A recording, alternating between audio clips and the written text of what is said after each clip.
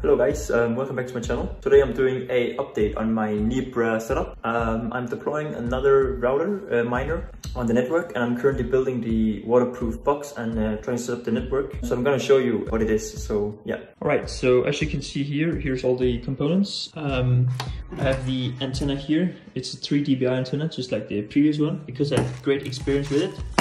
Um, I have some cooling pads here if I need them, uh, some mounting hardware. Um, I got a, a, fan I'm gonna deploy into the miner.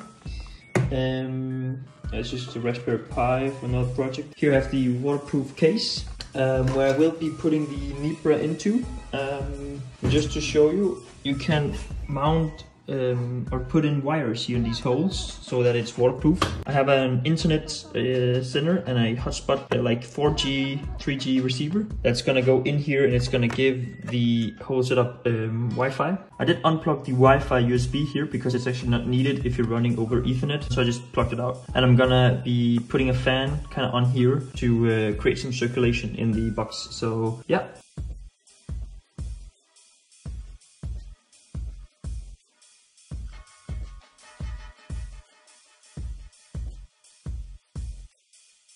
Right guys, as you can see, I am putting up a new miner. It's one in the box right here, antenna. It's gonna be sitting right here, mounted on this, and it's gonna point this way.